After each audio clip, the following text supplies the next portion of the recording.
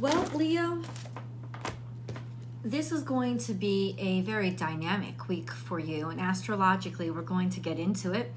This is your weekly astrology overview and your weekly tarot card reading for Leo, Sun, Moon, and Rising Sign.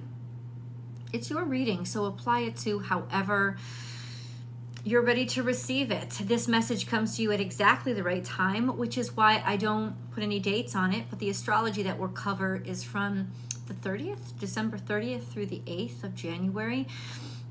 That's when the astrology drops when the vibrations finally reach you is all up to you. So, um, whenever you hear the video, it's right.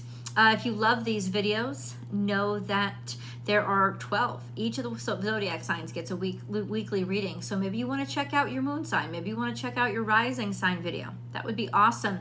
But remember to subscribe to the channel and ring that notification bell so that you know when I upload your favorite content I also have a second YouTube channel called Astrology Motivation where I go live every single weekday and I do a general tarot card reading and live chat. And I hope that you guys will join me over there. Um, we have a lot of fun. Uh, this week is it's not the easiest. I'm not gonna, you know, I don't blow smoke up your you know what. It's not the easiest week, but I tell you, it, it's just tremendous. There's, there's such tremendous growth in the air for you. The two biggest aspects this week are a square to Chiron and a trine to Uranus, as well as a conjunction to Mercury retrograde. So there is just a lot of dynamic about thinking about the past, what it has meant to you reliving and experiencing that pain so that you are inspired to make change or that change looks really good to you.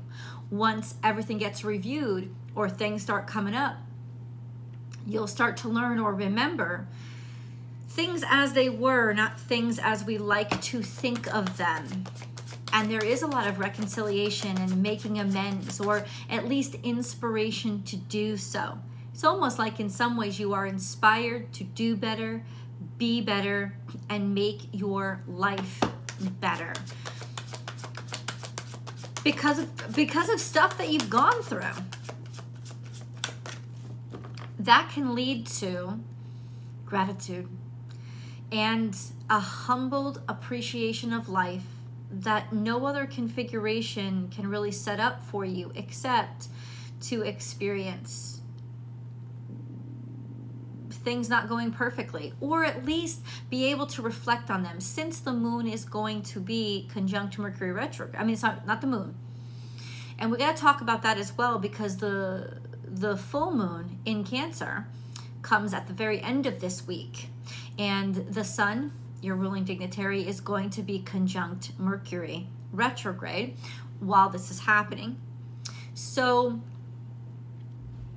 Mercury retrograde puts you in a reflective state of mind, especially the conjunction. It's almost like you absorb that reflective state of mind. And you might find yourself actually malfunctioning um, if you try to not go over things and not review things and not kind of see yourself almost in a retrospective. This could be like your life flashing before your eyes, not because of any injury, but just because of an awareness that all of a sudden happens to you to make you want to do things differently, want to change. And and definitely there is a change that's happening. It's not a forced change. It's actually gentle, it's harmonious. The trine to Uranus and the north node is saying you're ready to move forward. I think there's a sextile between the sun and the south node as well which means getting things done and fully functioning or being inspired to function, fully embracing everything that you've learned. And because you are, you are ready to move forward. Could there be some injury this week? There could be with a square to Chiron.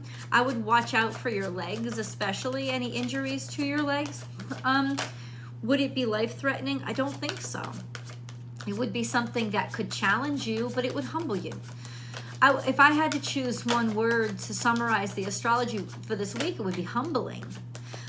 and humility humility leads to gratitude and gratitude leads to abundance so you really are well on your way to a beautiful existence this curious if not um conflicting week is going to lead to something extremely beautiful let's find out what the cards have for you the first card that came out is the Ten of Wands. Now, the Ten of Wands is about a lot of a heavy burden.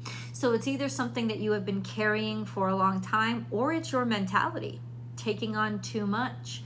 But this is definitely something that has been bothering you, getting to you, weighing you down, and making life more difficult for you. But, like again, it could be your mentality of taking on too much. Have you taken on too much? And if so, this might be the first time in a long time that you admit it to yourself and that you see, wow, I can't juggle all this anymore. I don't want to. I want to make a change. I don't have to keep doing this to myself. I don't have to keep making it hard for myself to prove that I'm worth something. My value comes from a deeper place. And then we have starting fresh. And look, I, I want you to see the difference between these two cards because it's really important. This the image of the character in this card is so weighed down and burdened and carrying so much on their shoulders, right? Right? And then you have the Fool card. And the Fool is free. The Fool carries a knapsack on their back, nothing else. And yet, they're not alone. This guy's alone. Like they're strained and they're weighed down. They're not alone. They attract. There's there's attracting happiness. There's just attracting joy because they're light there's a lightening of your load because you're allowing it. There's a getting rid of it and casting it aside. Look, the sun's out, it's shining. There's a happiness here, there's a freedom here, there's a relief here. It's also a message directly from the universe to you to say, this is the time to take a leap of faith in doing less, in doing less and appreciating more and also allowing responsibilities to fall off your shoulders and being okay with maybe sharing duties or responsibilities with somebody else. It doesn't all have to be on you all the time. It's interesting how ego can can get you, right? There's a sense of if you think it's all about you all the time, not only do you crave attention, but you also take too much burdens. You know, the, the people who try to fix everything themselves and do everything themselves are actually very egotistical. It's not coming from a good place. It's saying, I'm the only one that can get this done correct. I'm the only one that I can trust. So there's a real isolating energy in that mentality of, of taking on all this work by yourself. But here, when you get it off your shoulders and you leave space, it's open yourself up to have other people join you. Leave room for other people in your life leave room to let them join you and let them contribute as well. So we have Queen of Cups here, which is unconditional, free flowing love. And it's also telling us moon, so full moon. And it's by the end of this week. There's a full moon in Cancer. And this card always represents Cancerian energy to me anyway. So there is a sense of robust abundance and feeling like full when it comes to your family. You know, when it comes to those things that may not make you profit, but they make you happy. Also, a sense of a very loving, could be a feminine in your life that is Pisces, Cancer, Scorpio. Somebody who is just really filled with love, unconditional love, or is it making you or inspiring you to feel unconditional love and value. It's a new, fresh start, and it could be a lot of responsibilities that you are taking on, but in some ways, I think you felt lighter than you, I think you'll feel lighter, especially by the end of this week, after that full moon kind of pops and releases all that energy. You will feel lighter this by the end of this week than you have in quite some time. And then we have the judgment card. And the judgment card is it's like you're given a second chance, like you're given a second chance at life. You've been selected, you've been chosen, you've been found worthy by the gods. So this really is a sense of yes, you. It's your time. Um, rising, rising after a dark night of the soul, really rough experiences, and you'll start to feel like all that dirt and being lifted off of your chest. You'll start to feel the resurrection of you, your optimism, optimism returning. This is also a sense of you're going to be happy and start to realize you're really glad you took a leap of faith, especially, well, where your heart is taking. You're glad you took a leap of faith and you followed your heart and you may be very glad that you took a leap of faith in a specific someone. Um, or maybe it's just allowing yourself to be loved again or to prioritize love again. Let's let's get a moon card because we really need one. This is this is a full moon coming and I think it's important.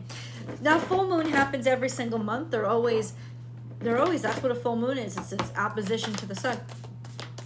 But this is a full moon in Cancer and you'll be able to make a decision. And you you will feel the lightening and relief of this burden by that time. We're going to get deeper into what this decision is. Oh this is so cute. I really love this energy for as soon as i saw this energy i was reading the charts and i was writing it down and i was like i love this energy for leo. There's a piece about it that's almost new. It's a mature piece. It's a a new sense of rightness. We have a new start is coming, new moon. So maybe you got information, maybe this is specifically a new moon, but I don't think so. I think this is you making room for something new or turning over a new leaf on this full moon. I think this is just a, I don't think this is is about the timeline. I think this is about your mentality this is like let something new start. This is a new beginning. And we're going to get deeper into what it is, but I think most of you already know. Please do comment below and let me know what this new start is um, if you feel like sharing. Or maybe just you want to share your thoughts on it or your thoughts on this energy. I want to get into some details, please. First, let's go back. I don't see any cards that have come out in the past, which is telling me that you're done you're completely okay with being over where you used to be. Because where you used to be is just not where you even want to be anymore. So this is the peace that I'm feeling. And then we have in the future, we'll we'll get something to come out. Let, let's let's let's definitely do it. But I want to clarify and get some detail. What is this oppression? What are what is this nine of wands, please? What is Leo? What is the stress? Where was the stress coming from? Um, trying to be the best.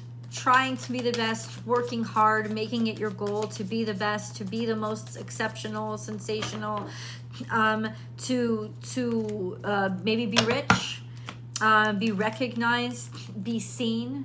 It's almost like that was the goal that was set out, and so you were putting a lot of pressure on yourself to be that or to feel like you were important.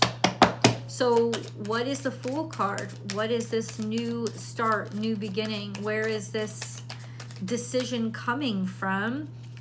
We have Five of Pentacles, which is the Chiron square. It's the suffering. It's almost like maybe A, the money wasn't good. There was an absolute failure right? A sense of, okay, I'm going to either accept the failure and move on from it, or I'm going to sit here and wallow. Now, you don't wallow well. So this is a sense of moving on. When I say kind of like bankrupt or going broke, it doesn't always just mean money. It could mean energy. All right. The square to Chiron could also be draining you a lot, but maybe there was just a bunch of disappointment, right? A disappointment, maybe even in a sense of yourself for like the money just didn't ever make up or it, in a sense even if you were a millionaire the money just never fulfilled you. It never seemed like enough and of course not because leos don't just want money. They don't just want fancy clothes. They love that shit. They roll around in that shit but you guys don't want just that. You, you know being loved is very important to you. Cultivating and growing and taking care of your family very important to you. So it seemed like as hard as you worked and maybe as successful as you were, because it does look like you achieved some form of success, a monetary uh, resource, you know, like tangible success, you just felt empty. It could also mean you lost it all. I don't know if some of you are experiencing that, right? It could be actually having to declare bankruptcy and finally clear out the bank and start fresh right? Or sell things and get rid of things that just didn't have value to you anymore. There is a real purging energy here. But then we had it's I think it's because your desires changed. It's like reaching your goals. Once again, this is Cancerian energy. It keeps coming up. So there's a lot that comes up around this full moon a lot of progress that's made. Maybe it's building your family or it's the family that you really want to focus on now. Um, this could be a Cancer or an Aquarius that has really changed your life and how you see the world, but it's it's made you different in a way that you like yourself better. And I think that there's progress that's going to be made, especially if you were aspiring to start building a family or you wanted to do something for your family or help your family or something with the fourth house, maybe even friends making progress and building new connections, could even be building a new sense of popularity or social notoriety. But see i don't think that that's necessarily your goal. I think i think you're you're aiming higher there. These are two major arcana. Like this is just a direction that's making you feel so right because it's mostly it's faded. Let's see this other card. We have knight of cups so an offer. An extension of love um, pursuing love or um, making an advancement, a loving advancement, telling somebody how much you care about them, them telling you, somebody getting engaged or asking for your asking for their hand in marriage or just outwardly expressing love and your excitement and joy. Love is really, really like prominent in this reading. A new start is coming. Well, let's see. What is this judgment card? What was the judgment that was made? A nine of swords. Suffering, healing. Maybe it's a sense of, I don't know, family, somebody that's in your family, Cancer or Aquarius. It's almost like you want to fulfill, you wanted to show them how much you love them, or maybe their loss or worries or concerns about them is what helped to inspire you to make this change, to not do things or maybe to do things differently or to take this turn in your life. Now, this could be nine of swords, it could be illness, it could be sickness, it could be loss. It's always stress, it's always worrying, it's always staying up at night. And so something was really getting you. It just, it was on your mind. And it's through that that pain that you changed. We have, what do we have? This new start that's coming. What is this? Queen of Wands yeah, feeling better. It's like taking control of your own life. That's kind of what this looks like taking control of your own life and deciding to enjoy life more and leave more room for pleasure and creativity and experimentation and having the confidence to know you're good enough to do so. Um, this is taking back your own sense of personal authority without getting so trapped or bogged down in all that crazy shit or all those materialistic cues that make you valuable, which they don't really at all. It's like your whole value system has in some way shifted or changed from the tangible to the intangible. Um, what is the judgment card? a tower. You didn't expect something to happen. It was a tower moment that changed, that forced a change on you. Okay? Um, something to do with competitive or five of wands means there was a lot of criticism or a lot of things in your way or um, just a lot of bullshit that made you, I don't know, it, didn't, it doesn't feel right, right? What is this tower? What is this tower? It's like you're tired of the haters. Done. It's almost, that's the Fool card. It's like realizing what actually makes you happy and jumping into it or your wish oh an actual wish coming true and so it's like it's almost like you were waiting for a sign or waiting like for something to not waiting but like it's like you needed you needed that push right to just jump into happiness. You're choosing happiness. You're choosing faith in happiness and your right to happiness. That's what you're choosing. You're kind of all done with the craziness and the crap especially any anybody like all this competition that you always felt like you had to do shady pines the shady i'm just this is a this is the tower card it's the golden girls deck. It's almost like it could have been an end like there was it's like you're done competing. You're done making this a contest. This isn't about a contest. This is about am i happy or am i not happy let's go to the extended. This is a good time to roll over there. I will see you guys there